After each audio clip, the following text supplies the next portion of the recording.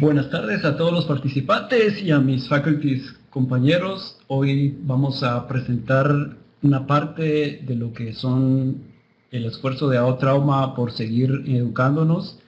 Es la parte de controversias en lesiones traumáticas del carpo. Es la fase 3 de los webinars por el COVID-19. En esta ocasión pues tendremos aparte de nosotros faculties de AO la presencia de la licenciada Diela Estrada de Colombia, es una terapista, fisioterapeuta encargada en mucho en mano, ella tiene mucha experiencia en mano y estuvo, estuve con ella durante mi entrenamiento en Colombia, la conozco muy bien y para hacer diferente un poco este, este webinar pues tenemos el punto de vista de fisioterapia. Nuestros, yo soy el moderador, soy Rodrigo Bolaños de Guatemala, tenemos a la doctora Ida García de Colombia y al doctor Jorge Boreto de Argentina.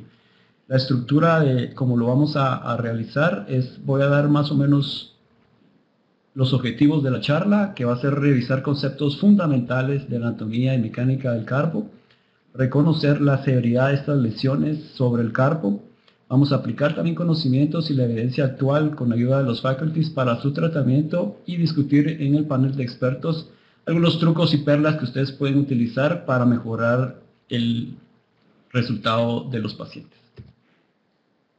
Respecto a la opinión actual, vamos a hablar rápidamente de conceptos básicos, no me voy a tardar mucho en esto. Eh, tenemos que entender que generalmente son lesiones de alta energía que van a llevar a cierta o mucha rigidez y artrosis a pesar de su restauración.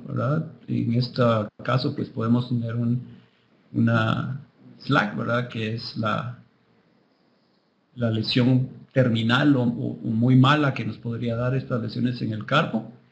Es el, colapso avanzado del carpo. También tenemos que entender y saber qué son lesiones de arco mayor, qué son lesiones de arco menor. ¿verdad? Arco mayor es hueso, arco menor son lesiones ligamentarias. Las etapas que tenemos en este tipo de lesiones, sobre todo con las luxaciones el espacio predilecto por donde se escapa el semilunar, que es la debilidad que tiene la cara palmar del carpo, el espacio de Poirier.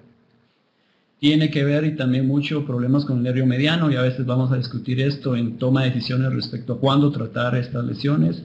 Tiempo también, importante, ya sabemos qué pasa cuando una articulación no está congruente, qué pasa con su irrigación y el tiempo de vida del cartílago diferentes abordajes para diferentes lesiones. Vamos a hablar también de esto con, los faculties. Respecto a anatomía, pues básicamente tenemos que entender los arcos de Ilula, buscarlos siempre en las radiografías. Estos son arcos importantes de medio carpiana, radiocarpiana y tenemos que tenerlos siempre presentes para que no se nos escapen estas lesiones. Ligamentos extrínsecos, ustedes ya los conocen. Generalmente en la parte dorsal, los más importantes es el, el intercarpiano dorsal, ¿verdad? que mantiene la unión de la parte cubital con, con lo que es escafoides semilunar. Y en la parte palmar, pues tenemos ligamentos importantes. Yo sé que hay más ligamentos, pero estos realmente son los que tenemos que tener en cuenta para la hora de las reparaciones. Los cortos, el largo y el corto semilunar, ¿verdad? Y el radioescafo capitato. Intrínsecos más fuertes totalmente que los extrínsecos son los que le realmente le dan la estabilidad a los huesos entre, los carpos, entre el carpo. Y de estos, pues importante el escafo semilunar y el luno etiquetal. Aquí sabemos que cada uno tiene diferente fuerza respecto a aguantar tracciones y lesiones. La parte palmar eh, del luno triquetal es realmente el más fuerte, el que aguanta más, y de la parte del escafo semilunar, el dorsal es más fuerte que los otros dos. Irrigación, importante tener en cuenta, ya sabemos el problema con la irrigación del escafoides, qué podemos esperar de las fracturas y lesiones a nivel de este hueso y en sí a nivel de los demás huesos del carpo.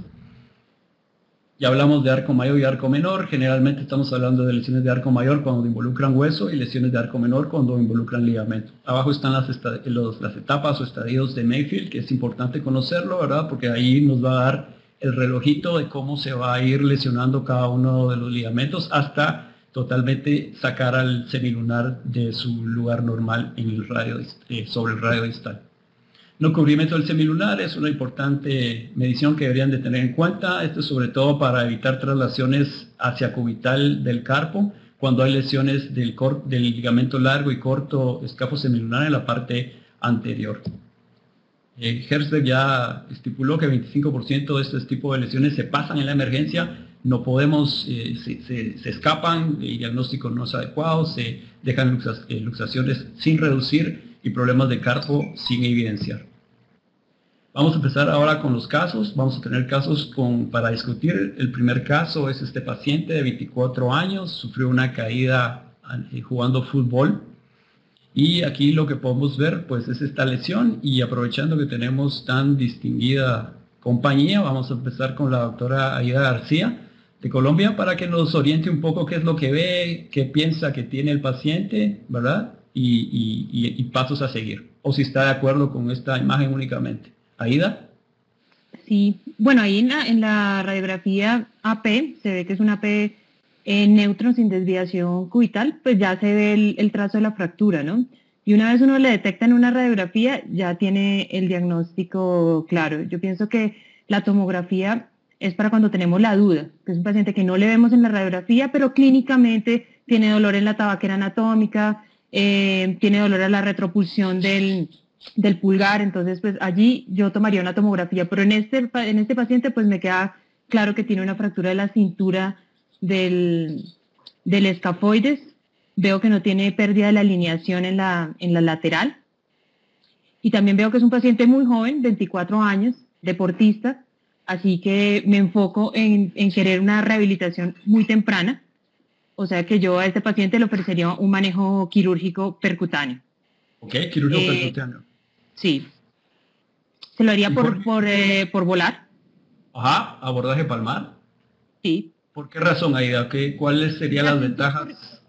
Realmente técnicamente eh, creo que ambas son muy, muy parecidas. La cintura siempre la abordo por volar y cuando son del polo proximal si me voy desde, desde dorsal para que mi ángulo de ataque sea mucho más fácil para, para poder eh, visualizar, pues para poder meter la, la, guía. Y si me voy por dorsal, un truco es que la guía es muy pequeñita, la de los tornillos canulados, entonces siempre pongo un yelco, un yelco de los más gruesos, eh, eh, y a través del, del yelco sí meto, meto la, la, guía para que cuando vaya a tomar la radiografía para mirar cómo me quedó la guía, no se me doble, porque esas guías son muy, muy, muy delgaditas. Por volar no hay ese problema, no se me dobla, pero estorba el trapecio, ¿no? Entonces, técnicamente tiene sus dos pro, pero yo estos los abordo por volar. Ok, Jorge, ¿y qué tips, qué tips podrías darnos respecto a lo que dice Aidar, eh, que se me dobla la guía o que no tengo una proyección adecuada si voy a abordar dorsal o si encuentro el problema del trapecio a nivel palmar, porque hay obstáculos en ambos lados? Sí, exactamente. Hay obstáculos en ambos, en ambos lados. Esta radiografía, como decía Aida, es una, es una, en la radiografía ya podemos observar el trazo y si, y si vemos bien la radiografía posterior anterior, vemos que tiene cierto desplazamiento y eso habla de la inestabilidad de esta fractura y por eso para mí sería la principal indicación.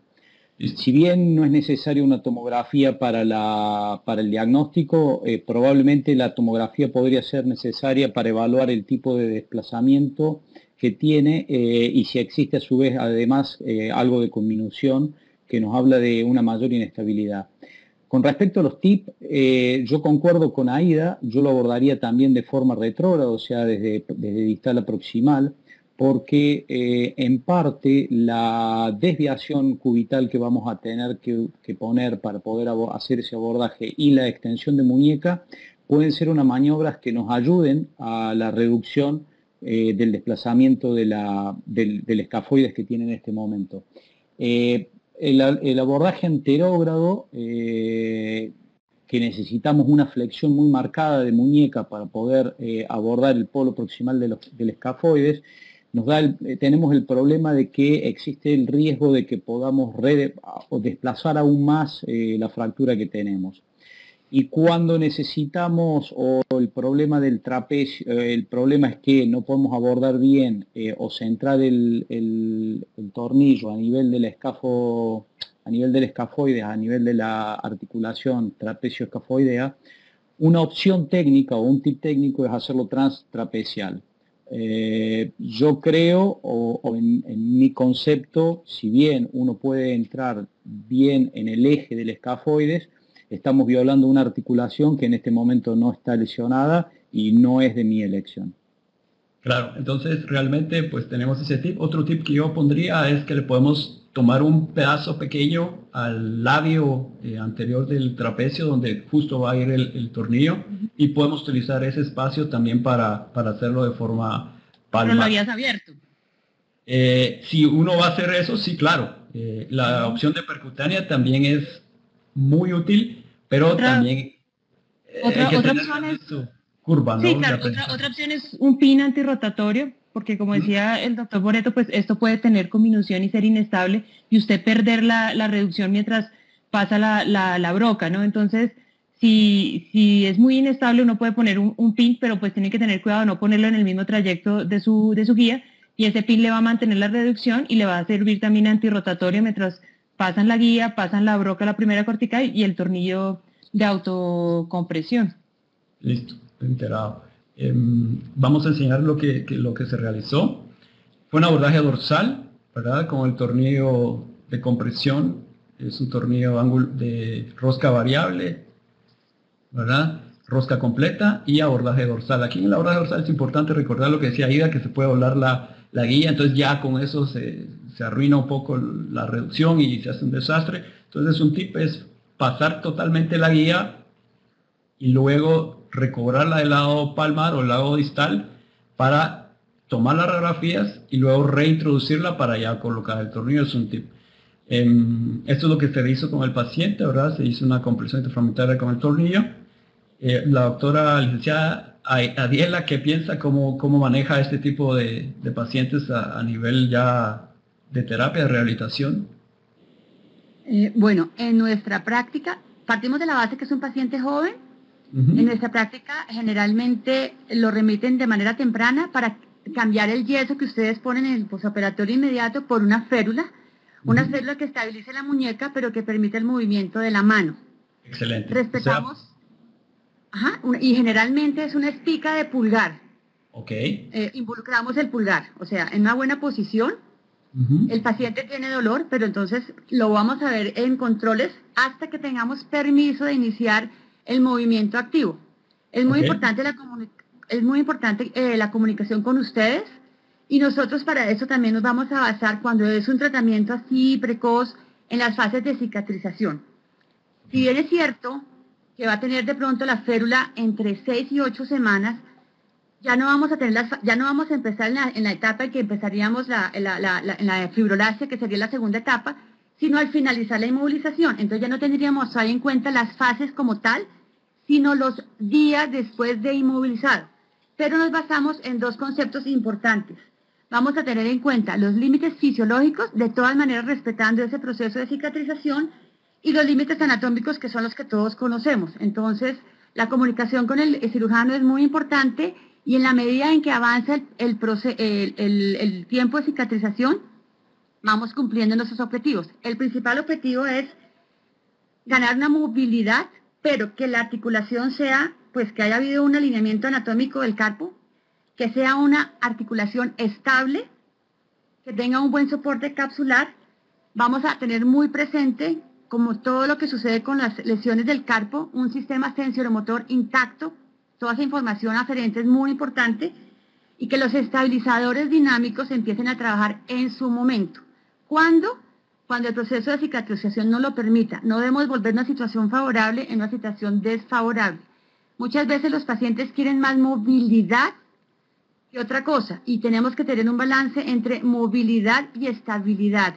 Rango funcional, pero no sobreactuarnos. Y recordemos una cosa, con el tiempo la muñeca va mejorando, todas las articulaciones van mejorando, así haya pasado seis meses, siete meses, el paciente va a seguir mejorando.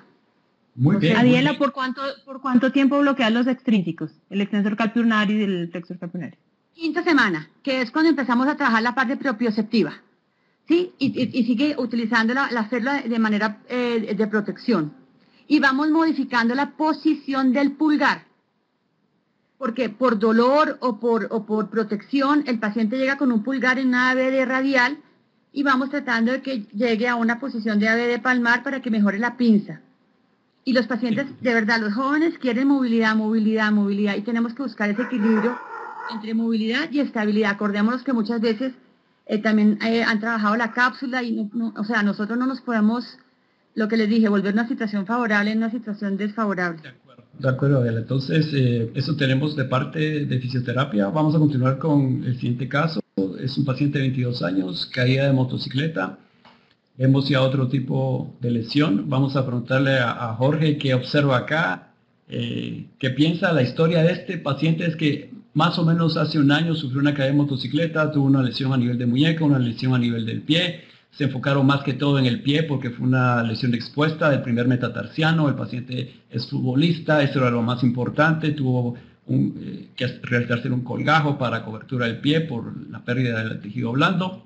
Muñeca no se percataron o no tuvieron eh, pues esa situación de manejar la muñeca y después de un año pues se presenta a la clínica ya con el pie resuelto, pero con un dolor de muñeca y con una movilidad limitada de muñeca. Jorge, ¿qué piensas? ¿Qué ves? Bueno, ¿qué veo? Eh, en la radiografía antero-posterior o posterior-anterior en realidad, lo que veo básicamente es una flexión del escafoide que se manifiesta por el signo del anillo. Eso me está hablando de que hay también una pérdida de la altura del carpo, y esa pérdida de altura del carpo se da a expensas del hueso grande, que cuando vemos la radiografía de perfil vemos eh, que existe una desalineación del hueso grande, eh, fundamentalmente a expensas de una traslación, eh, una traslación dorsal de su base, y de acuerdo al tiempo de evolución estaríamos pensando en una en una fractura de hueso grande que no se diagnosticó inicialmente y ahora estamos ante, eh, ante la presencia de una pseudoartrosis o de una, una no unión del hueso grande. Jorge, ¿necesitas de alguna forma este tipo de imágenes, una tomografía para mejorar o, estarías contento con, la, con las radiografías a ver, esto nos, nos, permite un poco más ver el defecto que tiene, la calidad, la calidad de hueso, porque podemos observar en, la, en el polo proximal o, en, el extremo proximal del hueso grande, podemos ver eh, que la calidad con esos quistes eh, hablan de la cronicidad de esta lesión. Por otro lado, como bien dijiste vos y explicaste en la, en la parte de la vascularización del escafoides, el hueso grande también tiene una particularidad donde los vasos del hueso grande ingresan por la base, entonces todas las fracturas que se producen a nivel del cuerpo van a eh, generar una alteración de la vascularización de eh, la cabeza del hueso grande y entonces una resonancia podría ayudarnos. En principio las imágenes tanto radiológicas como tomográficas no muestran una alteración de la densidad este, ósea a nivel de la cabeza, por lo tanto uno debería pensar que esa cabeza todavía es viable. por otro lado, ¿qué haría? Bueno, primero el objetivo fundamental de eso es, eh, como vimos en la radiografía inicial, restituir la altura. Y para restituir la altura, tengo que saber que una vez que la restituya la altura de ese hueso grande, voy a tener un defecto óseo eh, que va a ser lo que voy a necesitar en, esta planificación. Probablemente necesitaría una radiografía contralateral para ver la altura del hueso grande del lado sano. Y en base a eso definir qué tipo de injerto óseo eh, colocar. Por supuesto con, una osteosíntesis rígida, ¿no? Rígida, o sea, por ejemplo en este caso lo que se realizó obviamente fue un debridamiento del sitio de la, de la no unión y se ideó colocar un injerto en forma de cruz córtico esponjoso de olecranon para hacer la estabilidad. Ya sabemos que realmente la estabilidad en huesos del carpo es lo que nos va a dar la unión. Entonces, gran parte de la estabilidad es parte dada por el, injerto y también, obviamente, por la, por la osteosíntesis, por, la, por el implante que vamos a colocar a la hora de, fijarlo. Entonces, lo que se colocó pues, fue una... Aquí es bien importante el implante, Rodrigo. Porque muchas veces, muchas veces se utilizan eh, placas de adaptación o sistemas de 2.0 y eso no, es suficiente la estabilidad que da. Entonces ustedes se dan cuenta, esto es un sistema de 2.4 LCP bloqueado. No quiere decir que se tenga que poner los tornillos bloqueados, pero el perfil de la placa y la resistencia sí es la, necesaria, porque sí he visto muchas fallas de estas, de estas artrosis por los implantes. Exacto, exacto. Entonces aquí lo que estábamos buscando es esto, esto es el resultado eh, postoperatorio inmediato de, de la lesión con una realineación, como decía Jorge, de la parte del hueso grande, ya está en línea todo, ya no está el carpo hacia palmar y vemos que los tornillos no están articulares, que está colocada de una forma adecuada y el desenlace de esto pues es eh, eh, esta radiografía es más o menos un año después de, haber realizado todo esto donde se evidencia una unión del, hueso grande y una solución a lo que el paciente tenía eh, con problemas, ¿no? respecto al retiro de implante, Jorge, ¿qué piensas? ¿Puede haber algún tipo de problema del implante con la movilidad? A ver, pienso que sí, porque básicamente cuando vemos la radiografía de perfil, eh, habría que probablemente eh, en la, evaluación de la flexoextensión del paciente, ver si el paciente tiene la extensión, si la extensión está limitada y si aparte es dolorosa.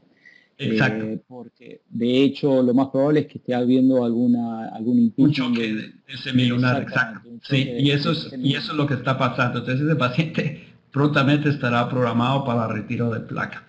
Eh, pasamos al otro caso, es un paciente soldado, 24 años, explosión de mina, tuvo otras lesiones que nos vamos a, hablar en este momento. Nos vamos a centrar en lo que es carpo, con, obviamente ustedes pueden ver la amputación que tuvo a nivel de los dedos, pero tiene una fractura que podemos ver acá, ¿verdad, Aida? Entonces, no sé si nos quieres eh, explicar qué es lo que ves acá y cuáles serían las opciones de manejo inmediato y tardío. Bueno, esto, esto creo que no tiene ninguna clasificación como tal, es, es un, un, trauma de alta energía, donde ustedes ven que el, la energía empieza tras estilo, tras escafo, perilunar y luxa todo. Entonces este paciente, pues como es un policamatizado, lo primero que hicimos fue un damage control y lo que más nos interesaba eh, primero para evitar que se, lesionara el, nervio mediano, aunque, ustedes ven que aquí el semilunar no tiene más de 90 grados de, inclinación, ¿no? Entonces, pues eso me hace pensar en que le puedo eh, tratar de hacer una, reducción cerrada. Si ya tiene más de 90 grados de inclinación, no es muy recomendable hacerlo cerrado porque muy seguramente el, el semilunar está metido en el túnel del carpo directamente y se puede lesionar el nervio mediano. Entonces, en este paciente hicimos un damage control, que es la siguiente diapositiva. Le hicimos eh, abierto. Como ustedes se dieron cuenta, era imposible darle tracción porque no le quedaron dedos completos y eran muñones abiertos. Entonces hicimos una reducción por dorsal y allí hicimos también un inventario de, lesiones. La reducción no fue tan difícil porque pues ya tenía un abordaje volar casi hecho, entonces desde allí lo, lo empujé. Pero ustedes se pueden dar cuenta que el paciente tiene un gran defecto a nivel del escafoides, porque era toda una combinación. Cuando yo encontré una capsulotomía traumática, ya encontré toda la combinación allí, pero encontré que el ligamento escapulunar estaba indemne y el lunotriquetral también. todo se fue con la, con la fractura y el, semilunar se fue con, su pedacito de, escafoides y, sus eh, ligamentos no se rompieron igual tenemos un faltante, ¿no? Tenemos un, faltante. A un defecto a nivel del escafoides. Entonces, pues estos pacientes son su generis porque desafortunadamente las minas en Colombia al 100% están contaminadas por, por materia fecal, entonces nosotros no podemos hacer manejos definitivos muy, muy rápido. Tenemos que hacer lavados, desbridamientos, tomar cultivo. Este paciente le salió un enterococo, un enterobacter cloacae, no en la mano, en la pierna amputada se le dio el tratamiento y a las tres semanas, pues entonces ya lo llevamos a una reconstrucción ósea. Yo necesitaba hacer, necesitaba hacer varias cosas. Necesitaba eh, em, alinear nuevamente el escafoides, corregir el, defecto óseo que tenía, que era bastante grande, y darle una estabilidad eh, suficiente para poder rehabilitar este paciente porque él va a durar inmovilizado muchísimo tiempo. Tengo que también dar un cubrimiento al defecto óseo que le, que le vieron eh, los dedos pues los, alcanzamos a remodelar y los muñones cerraron. Entonces le hicimos una reconstrucción ósea con... y aquí es donde viene el pensamiento, ¿no? Porque toca pensar qué, es lo que se va a realizar, ¿verdad, Aida? Porque tenemos un faltante óseo de escafoides, eh, poner un tornillo intramedular como que no va, eh, tenemos que pensar en, restaurar ese, hueso. Entonces, ¿cuál fue el método de pensamiento? ¿Qué pensaste para realizar esto? Pues yo pensé en una estabilidad absoluta, con algo que me diera, que me diera la, suficiente estabilidad. Y pues ustedes pueden ver allí que en la mitad está un injerto tricortical eh, que sacamos de la, de la, del codo, diseñamos una cuña del, del codo para no tener que meternos en las, en las crestas ilíacas porque el paciente pues tiene fractura abierta en, una, en un fémur y el otro lo tiene amputado. Entonces pues ahí ven que restauramos, el, restauramos la, longitud del, del, escafoides y pues en la, en, la, en la, la, de la derecha pueden ver todo el injerto que, que colocamos. Allí la discusión, y quiero que, Jorge me, me dijera, es si tú le hubieras puesto pines para fijar ese carpo. Esto ya fue después de tres semanas de él estar reducido y con pines. Y yo hice un inventario de lesiones y, encontré que el escapulunado y el notriquetral estaban en continuidad. ¿Tú le hubieras puesto pines? No, eh, no, porque aparte tenés un defecto óseo y al tener el defecto óseo eh, necesitas, por un lado, reconstruir ese defecto óseo, por otro lado, darle una fijación rígida. Eh, los pines con No, pero digo, digo pines en el carpo, para fijar el, el carpo. No, no para hacerle la estabilidad al escafoide, sino a nivel del carpo? A ver, si vos, si vos evaluaste que, la, que el ligamento luno, piramidal está, está bien, no hubiera puesto porque en realidad la mayor inestabilidad en este patrón de lesión se la está dando la lesión escafoidea, o sea, el lado radial.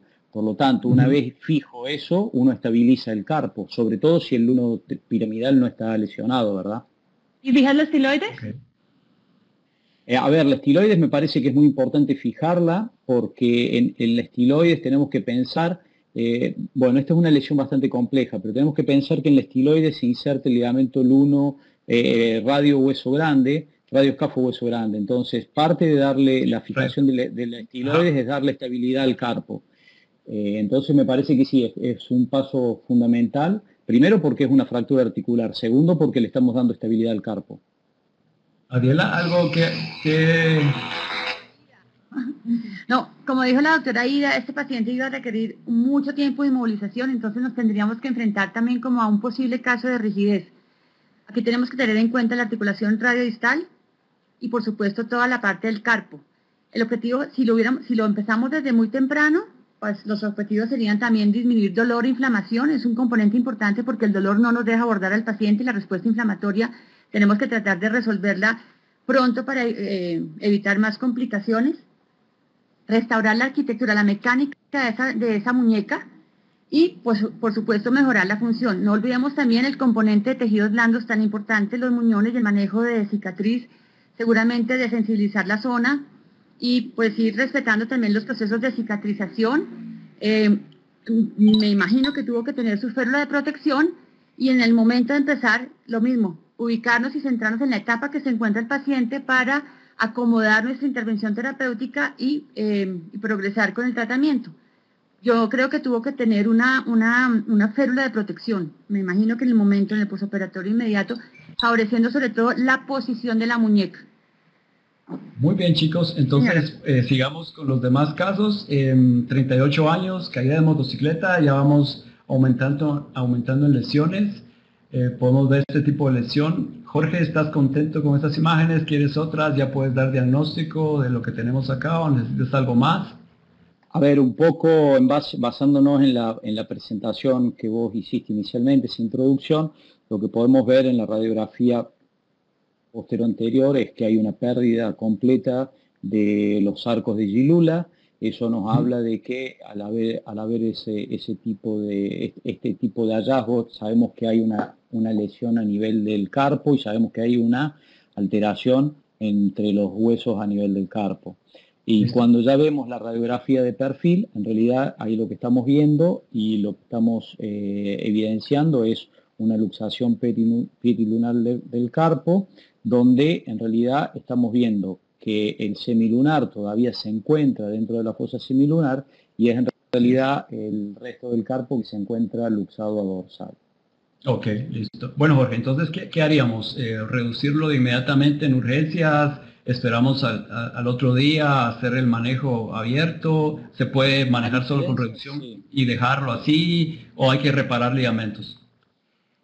Bueno, en principio, en principio lo que eh, tendríamos que ver un poco porque estas radiografías pueden no evidenciar alguna fractura asociada o una lesión asociada. Si consideramos solamente las radiografías en este primer estadio, podríamos estar pensando que es una lesión de arco menor, donde la ah. lesión es completamente ligamentaria. Si bien estas, las reducciones en este tipo de lesiones son, son urgencias fundamentalmente porque muchas veces, como decía Aida, se producen compresiones neurovasculares, cuando en, este, en esta lesión, que podemos clasificarla según Herbert como una, un tipo 1, porque en realidad el, semilunar no perdió eh, la fosa semilunar del radio, eh, se produce con menos frecuencia la compresión del, nervio mediano a nivel del, eh, del, túnel del carpo. No obstante, como la mano o el, a que acompaña al resto del carpo está hacia dorsal, se produce una traslación de todos los elementos palmares hacia el dorso también. Entonces, depende de la energía, porque muchas veces la contusión puede generar eh, en estos pacientes que también haya lesiones, eh, síntomas neurológicos. la lo inicial es hacer una reducción eh, mediante una anestesia o una anestesia regional o una anestesia general, colgar al paciente durante 10 minutos con unos entre 5 y 10 kilos, dependiendo del tamaño del paciente y poder hacer una, reducción. Y fundamentalmente eh, en ese momento hacer una radiografía bajo tracción que nos va a determinar bien el tipo de patrón y la lesión, si es una luxación, de, eh, una fractura luxación o una luxación pura.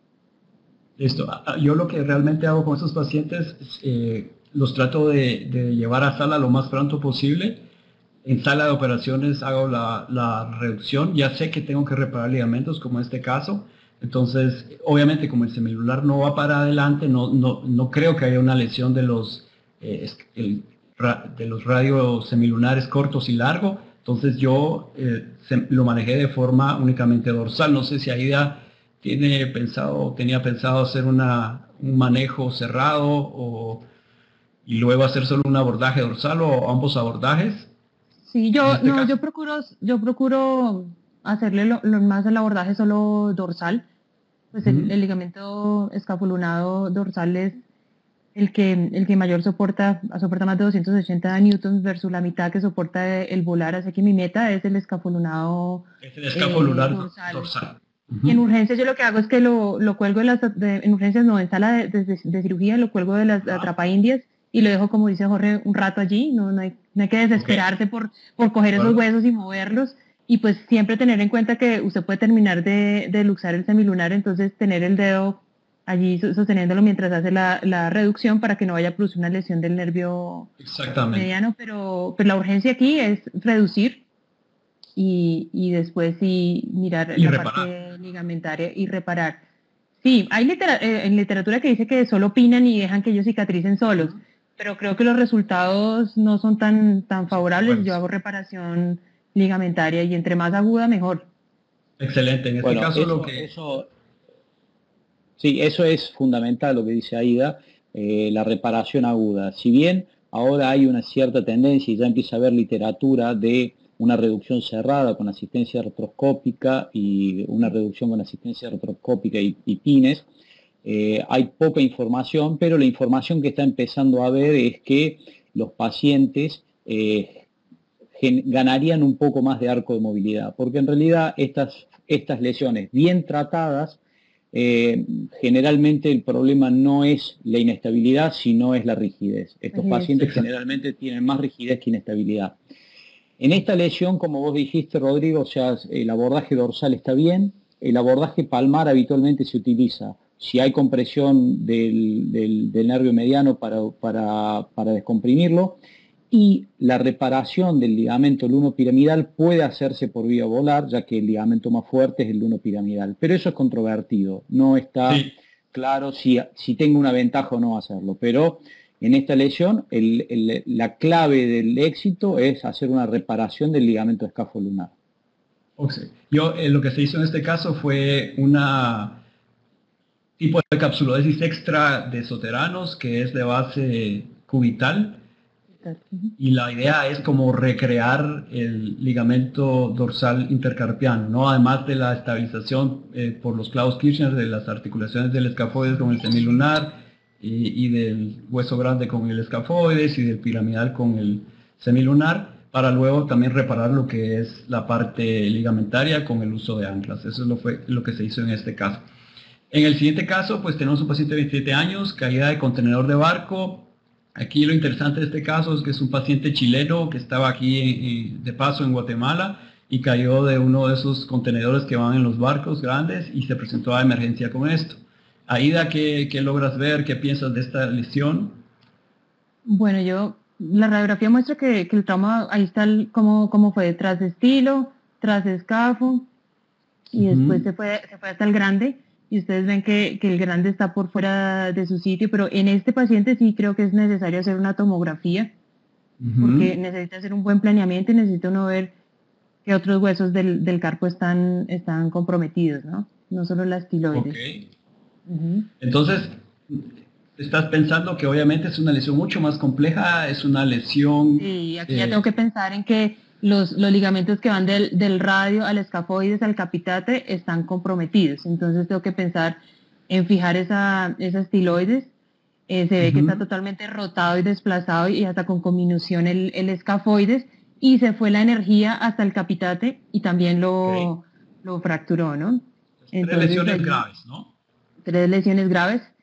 Eh, sí, yo empezaría por dar un poco de tracción y tratar de poner el grande en su puesto para entender un poco más la, lesión, pero pues toca hacerle fijación a, los, a los tres huesos. Exacto, y aquí es lo que sucede generalmente cuando uno tiene este tipo de síndromes de Fenton, donde realmente la, parte proximal del escafoides está suelta, está volando, ya no tiene ninguna unión con nada, y lo que toca hacer, lo que, lo que tú dijiste, que es la reducción abierta, obviamente, eh, en este caso pues se utilizó tornillos intramedulares, canulados, rosca variable, eh, para realizar la reducción y fijación del escafoides y del, hueso grande, escafoides hueso grande. Por la misma incisión se realizó la, reducción y la fijación de la estiloides y la del la parte de la articulación del semilunar con el con el triquetral. Rodrigo, te hago una consulta. ¿Por qué, eh, ¿por qué la decisión de, de, de hacer una osteosíntesis rígida y en, los, en el, hueso del carpo y en el radio hacer una clavija. Listo, acá lo que se realizó también fue una, una, eh, una reparación ligamentaria a través de hueso, ¿sí?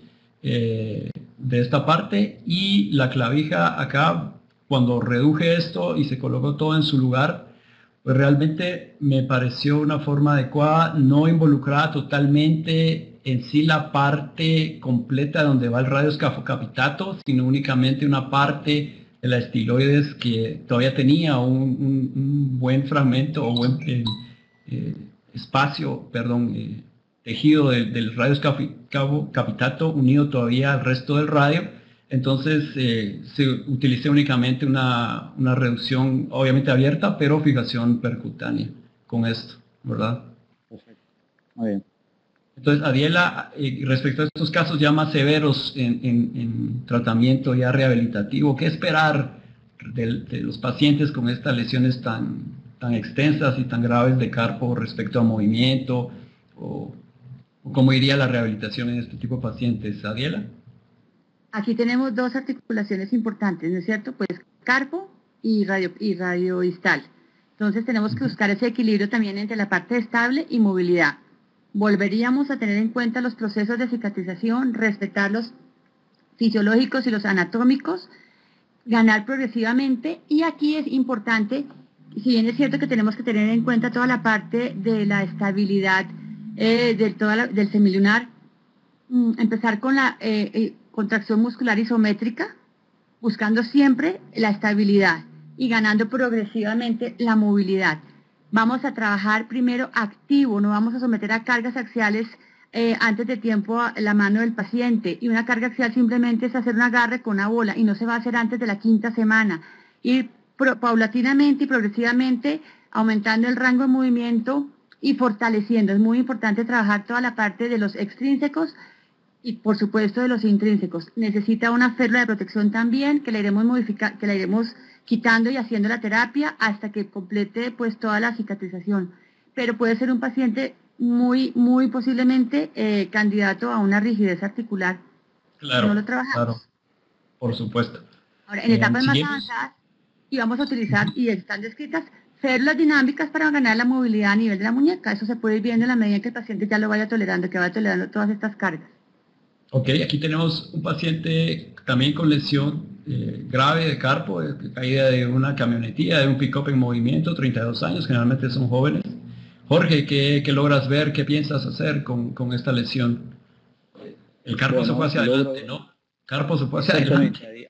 A, diferencia de los otros, es, bastante infrecuente, pero es una, una luxación eh, transestilo. Me imagino, habría que ver cómo está el escafoide, pero eh, es transestilo radial. Habría que ver cómo está el escafoide, no logro definirlo. Pero eh, a diferencia de lo que estuvimos viendo, la luxación es a volar, como dijiste vos, Rodrigo. Entonces, en este caso también hay que lograr hacer una, una, hay poner el paciente en tracción para lograr estabilizarlo. El problema es que la fractura de la estiloide del radio es bastante importante, entonces sabemos que Esa es la diferencia con el otro, ¿no? Exactamente, tiene ligamentos ahí y entonces son fracturas, son lesiones bastante inestables pero lo que sí necesitamos es darle una, radiografía con tracción para poder definir mejor el patrón de lesión que tenemos, porque no sabemos si es eh, a nivel del escafoides pasa a través, de, a través del escafoide o a través del escafolunar.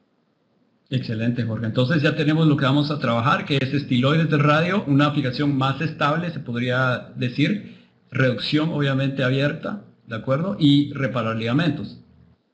Sí. ¿Sí?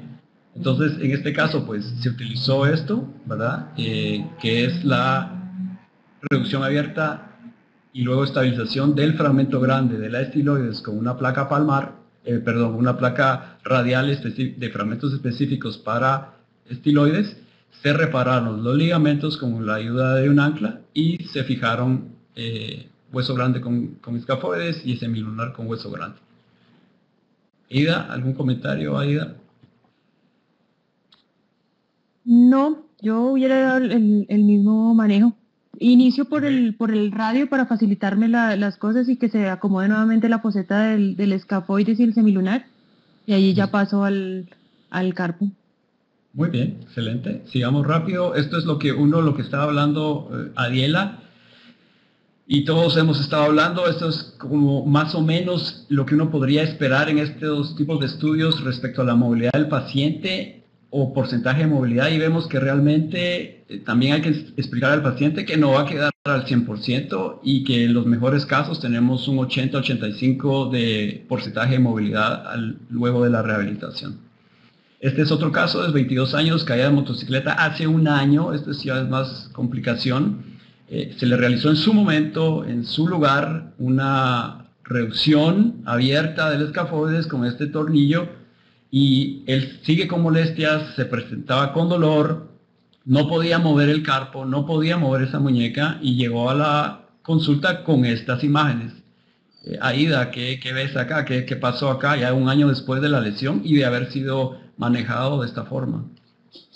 Ahí veo una tragedia, porque se reabsorbió, se reabsorbió el, hueso y usted se ve que está subluxado el capitate, está, está por fuera, se perdió totalmente la alineación. Veo que también ya hay un poco de, lesión a nivel de la articulación del radio, no se ve una articulación así como muy, muy sana, pero pues se reabsorbió claramente parte del escafoides.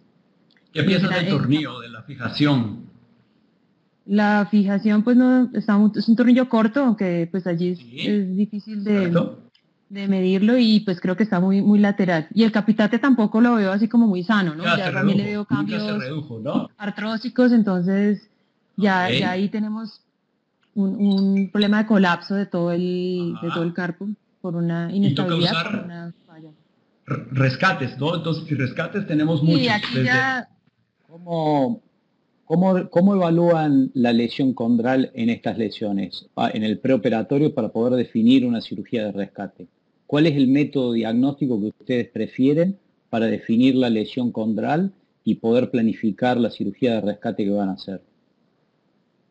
Pues la resonancia magnética nos ayudaría mucho. El problema es eh, el implante que tiene allí, ¿no?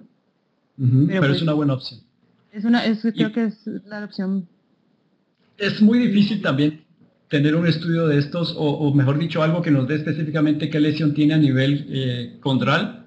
Es más que todo pensarlo bien, viendo la, lesión. Uno podría entrar por artroscopia y, y, mirar cómo, cómo está para hacer un planeamiento, porque claramente solucionar eso no es fácil y ya es algo de, de, rescate o de reconstrucción de, esa, de ese puño, ¿no? Entonces... tenemos varias cosas, ¿no? Porque, ¿qué harías? ¿Una reflexión de la primera fila? Eh, ¿Harías eh, cuatro esquinas? Exacto, haría, a ver, creo que la artroscopía es el gol estándar para definir la lesión condral. El problema es que cuando uno hace una artroscopía debe tener ya planificado la osteosíntesis que va a utilizar, si va a utilizar osteosíntesis, si va a hacer una artrodesis limitada. Entonces, en ciertos medios o en nuestro medio donde necesitamos autorizaciones previas del material, eh, a veces genera hacer la artroscopía eh, no es tan simple porque es un procedimiento previo. Entonces, una forma de evaluar eh, y, planificarlos mediante una artrotomografía, que es más específico que una tomografía simple para evaluar la lesión condral. Y basándome en esto, sí, eh, hay una lesión, a ver, si hay una lesión de la cabeza del hueso grande, o sea, de la mediocarpiana está lesionada. de la primera. Sí, si la mediocarpiana está lesionada, pensaría en una artrodesis limitada, una cuatro esquinas o una tres esquinas. Ah.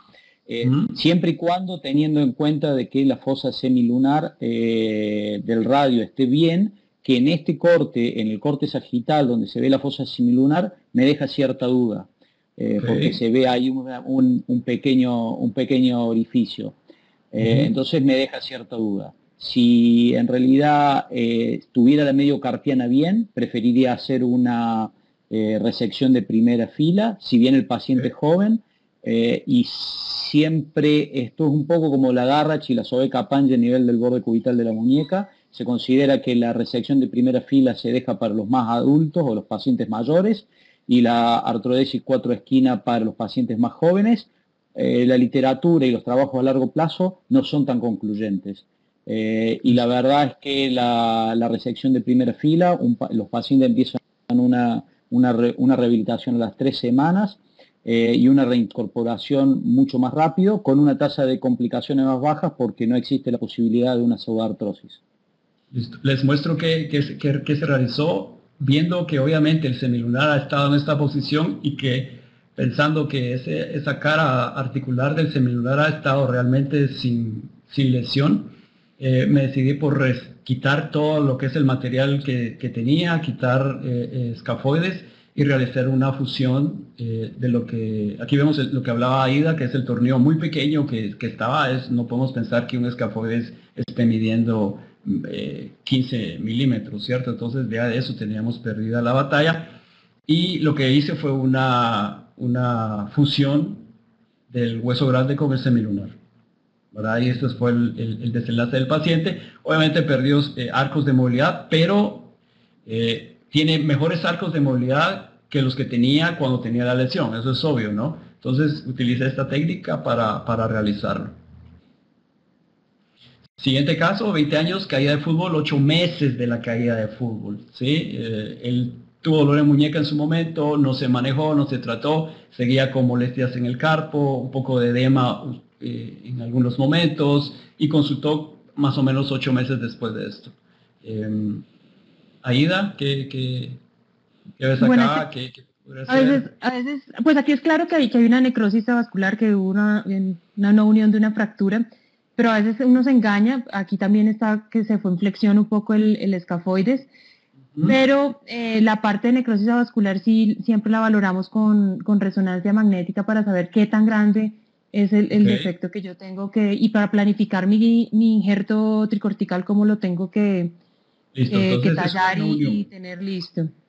Una unión, no unión de escafoides, ¿cierto? Entonces, eh, toca ahora decidirse abordaje dorsal, abordaje palmar, qué tipo de injerto, ya lo hemos hablado muchas veces, si pues es tan necesario el vascular o no vascular. o no. Sí. sí. Pues realmente nosotros por escuela hacemos todos estos eh, con un injerto tricortical, ya sea de cresta ilíaca, no vascularizado o de, también del, codo cuando no es muy pequeño lo podemos sacar del, codo y ya cuando es más grande lo tallamos de, cresta ilíaca y le damos estabilidad con un, con un tornillo. Yo le soy sincero, realmente yo manejo las no uniones no, no vascular, ¿sí? o sea, un injerto tricortical con una buena limpieza del, del escafoides, hacerle su, su cáscara de huevo, hacer una buena estabilidad con el injerto tricortical y obviamente una estabilidad, si es posible, con el tornillo o con clavos. Pero Jorge, yo sé que tú tienes más, más experiencia respecto a los vasculares. ¿Cómo te ha ido con eso?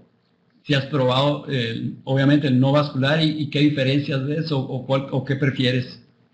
A ver, eh, la subartrosis de escafoides, eh, por un lado, hay que determinar si la subartrosis de escafoide, como en este caso, eh, tiene aparte inestabilidad carpiana, es decir, que tiene flexión por pérdida de la altura del, del, escafoides y el escafoide está en, flexión. Eh, y en esos casos hay que determinar la, a ver, la, viabilidad del polo proximal. Habitualmente es raro encontrar este tipo de pseudoartrosis con un polo no viable. Generalmente cuando son de la cintura, el polo proximal generalmente es viable. Y en ese caso la elección también es de un tricortical eh, aunque también puede utilizarse si uno logra una buena estabilización con un tornillo, con un tornillo el, injerto eh, esponjoso está descrito y la consolidación es buena. Eh, pero si no, el tricortical da una mayor estructura a los FIG Fernández. En el caso de los vascularizados, la indicación es en la pseudoartrosis del polo proximal, cuando existe una alteración de la vascularización, la indicación es, eh, o lo que yo utilizo es básicamente el colgajo de Seidenberg. Y si eh, existe una, una, flexión del un handback muy marcado, con alteración de la vascularización del polo proximal, entonces prefiero hacer el cóndilo femoral. Ok, de acuerdo, sí, muy bien. Yo, lo que se hizo en este, en este caso fue tomar un córtico esponjoso tricortical, obviamente, de, de la parte del radio distal, y hacer el eggshell, el, el huevito del escafoides, quitar todo, hacer un buen dedamiento, fijarlo. La estabilidad realmente estaba dado por la colocación del injerto. Eh, como era un fragmento pequeño, realmente un tornillo, no pensé yo que iba a tener una sujeción adecuada o me iba a dar problemas con el polo eh, distal, por lo que utilicé las clavijas para hacer la, la fijación. Eh, luego, este es más o menos cuatro meses después de, del retiro de las, de las, clavijas, donde vemos una unión y, un, y, una integración del injerto. Adiela, algo respecto a rehabilitación en pacientes con no uniones de escafoides o... Rápidamente, como igual hicieron el injerto va a ser un paciente que va a estar mucho más tiempo inmovilizado y posiblemente también vamos a enfrentarnos ante una rigidez articular.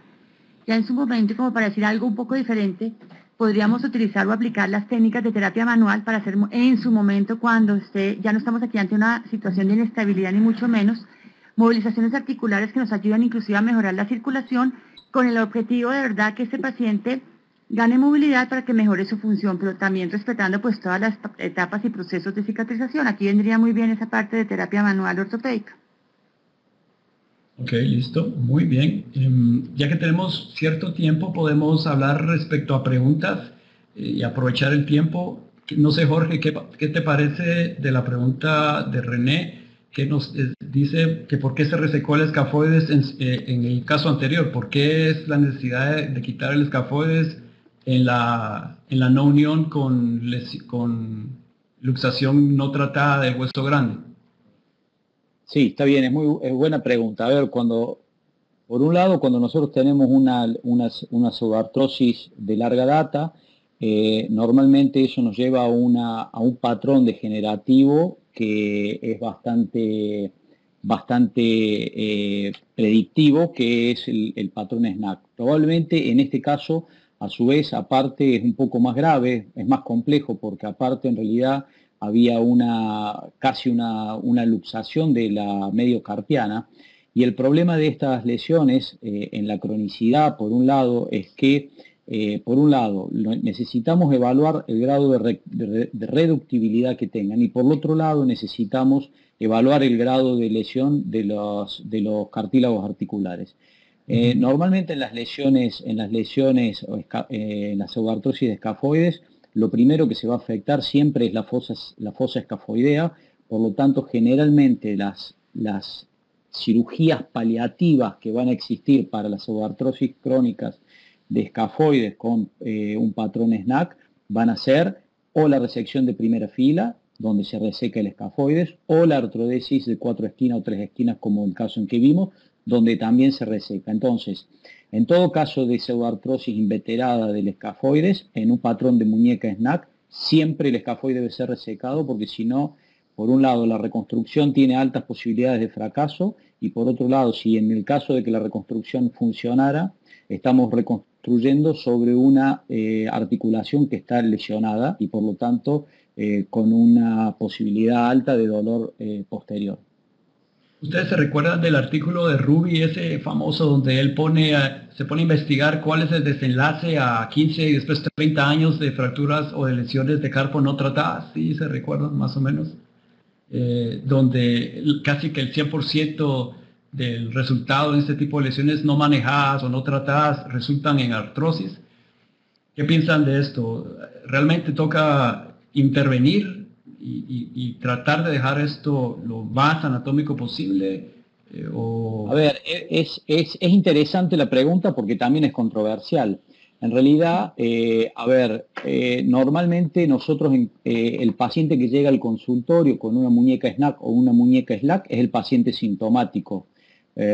alguna vez o, o, más raras veces podemos encontrarlo como un hallazgo a esa, a esa lesión por una radiografía realizada por otro, por otro por otro problema. Entonces, en realidad el paciente que presenta una muñeca snack eh, no es y, que consulta por dolor no es muy difícil la decisión. El problema es el hallazgo, el paciente que tiene un hallazgo o el paciente que tiene una pseudoartrosis de un escafoide que es asintomático. Para mí ese probablemente sea lo que haya que discutir con el paciente.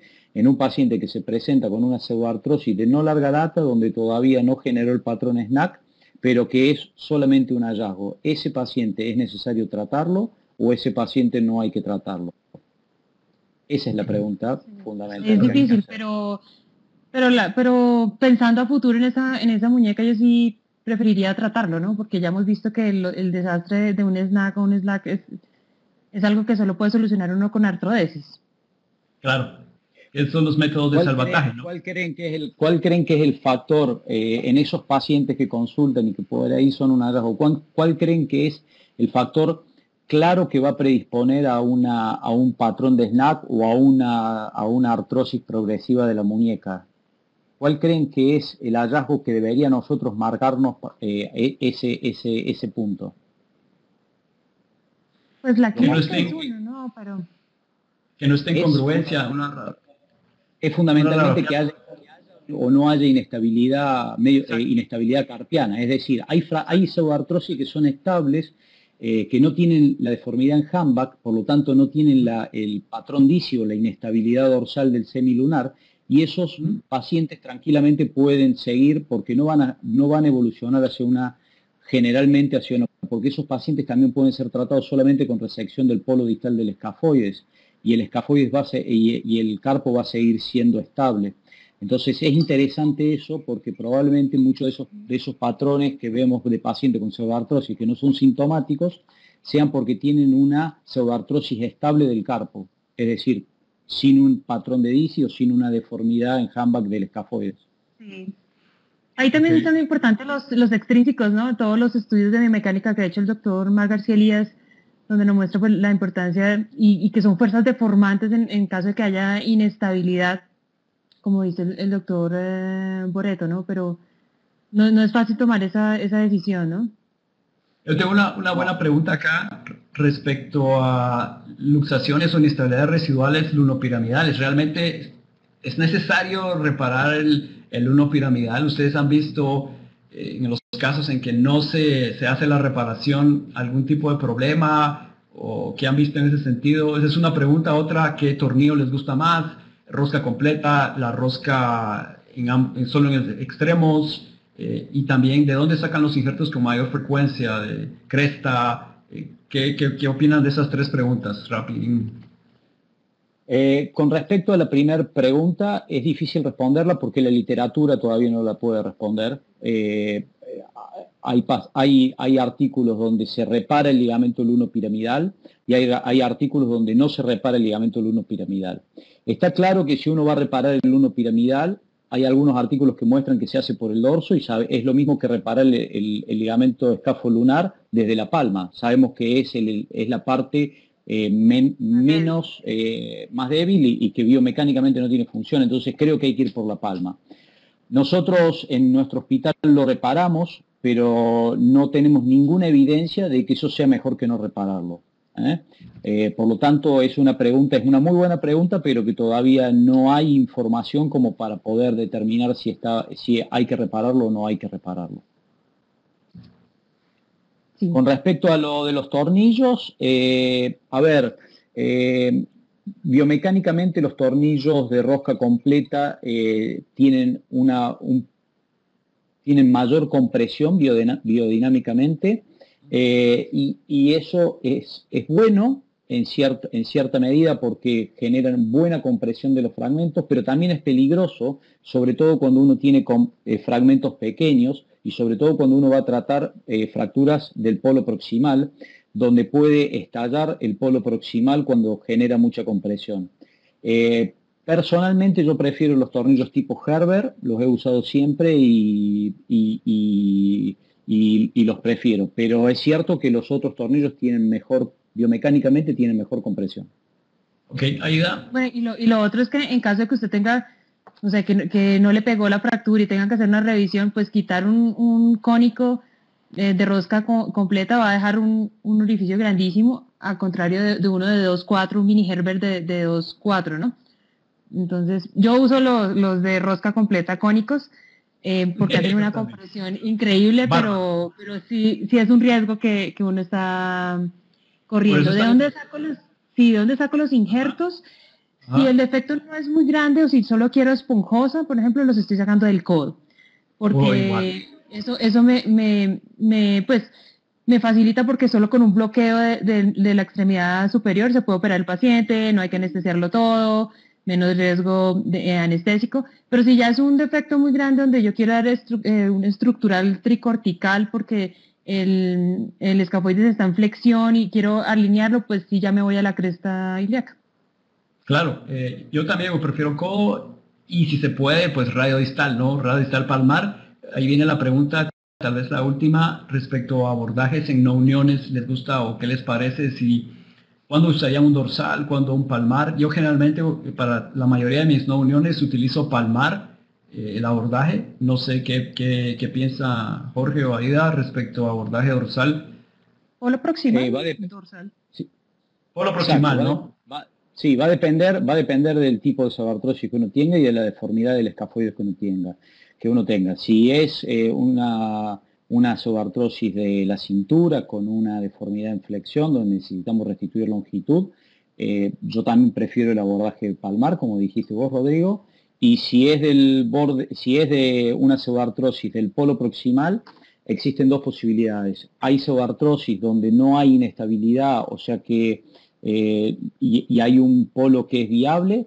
Eh, nosotros acabamos de publicar un artículo donde eh, lo que hacemos es una fijación del, una fijación del, del escafoides por vía anterógrada y hacemos un bloqueo óseo metafisario, que es el mismo tratamiento que utilizamos para el Kienbock, para estimular la vascularización. Eh, los resultados son muy buenos. Ahora, cuando ya hay una, una, pseudoartrosis donde hay defecto óseo a nivel del polo proximal eh, y puede haber alguna alteración de, la vascularización, entonces la preferencia es por un abordaje dorso radial. muy bien. Entonces yo creo, ah, eh, orden de reparación, eso sería casi ya lo último, orden de reparación, cuando hay una combinación de lesiones arco palmar, arco, eh, perdón, arco, eh, arco menor y arco mayor. Primero hueso, primero ligamento, eh, ¿qué hacemos primero generalmente? ¿Cuál es el orden de, ideas? Primero hueso. Primero tengo que restaurar alineación, altura, longitud y después si, si miro que porque no, no, siempre hay lesiones ligamentarias. Por ejemplo, si, si se va de estilo, generalmente el, el, pedacito de escafoides se va con su ligamento pegado al semilunar, entonces allí reparo escafoides y ya queda, ya queda la lesión em, estable. Entonces, pues primero yo empiezo por el hueso siempre. Buenísimo. Jorge, igual, yo pienso que igual, siempre hueso, después ligamento.